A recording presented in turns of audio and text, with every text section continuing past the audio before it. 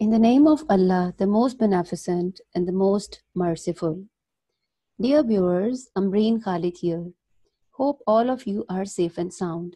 Today, I'll be telling you about the words used for daily life's phobias. So let's get started. First word is aerophobia. It is a fear of flying.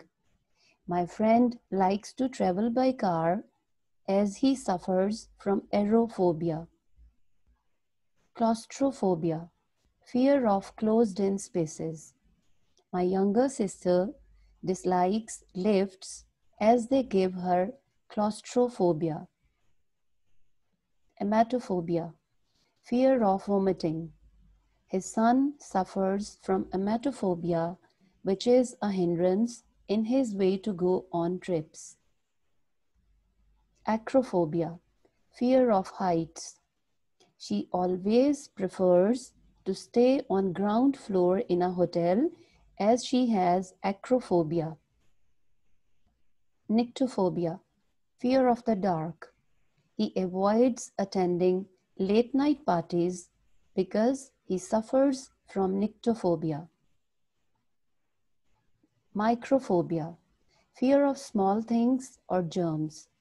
It is really very difficult to live with people who have microphobia. Monophobia, fear of being alone. She suffers from monophobia as she has lost her whole family in an accident. Pathophobia, fear of disease. She has made her life miserable because of pathophobia. Ochlophobia, fear of crowds. His ochlophobia makes him avoid birthday and wedding parties. Xenophobia, fear of strangers. He is a lonesome person because of his xenophobia. Amathophobia, fear of dust. Sometimes she becomes harsh with her family and maid because of her amathophobia. Keraunophobia, fear of thunder. Whereas people enjoy rain, but because of his keraunophobia, he remains indoors with his earplugs on.